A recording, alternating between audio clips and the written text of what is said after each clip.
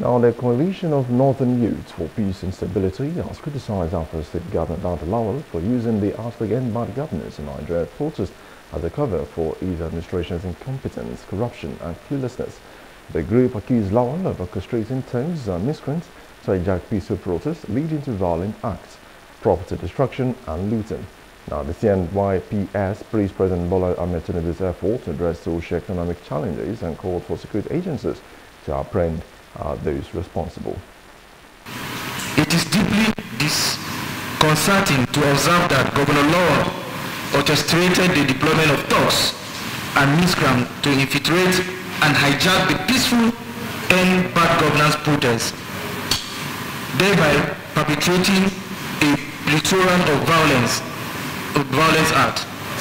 These individuals not only targeted and assaulted prominent, uh, prominent personalities, but also engaged in the wanton destruction of properties belonging to the APC and innocent citizens of Zamfara State.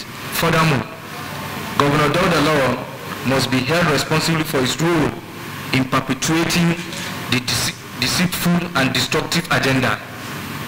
We advise he desist from fanning the flames of discord instead of focus on combating corruption and addressing the pressing issue of insecurity within the state.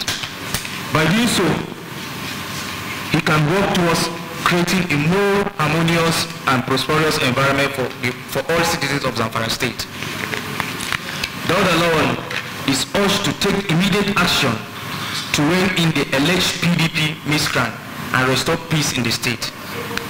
He must cease from exacerbating the tension and instead focus on combating corruption and addressing pressing issue of insecurity that has plagued Zamfara state. Hello. Hope you enjoyed the news. Please do subscribe to our YouTube channel and don't forget to hit the notification button so you get notified about fresh news updates.